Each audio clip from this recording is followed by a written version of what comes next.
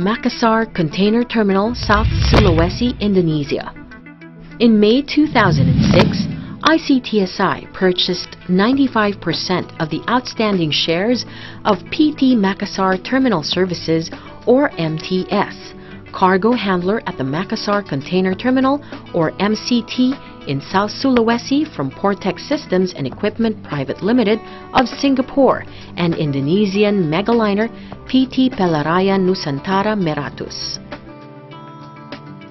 MTS has a 10-year cooperation agreement with Port Authority Pelabuhan Indonesia for, for the procurement, installation, and operation of container handling equipment at the MCT under a revenue sharing scheme.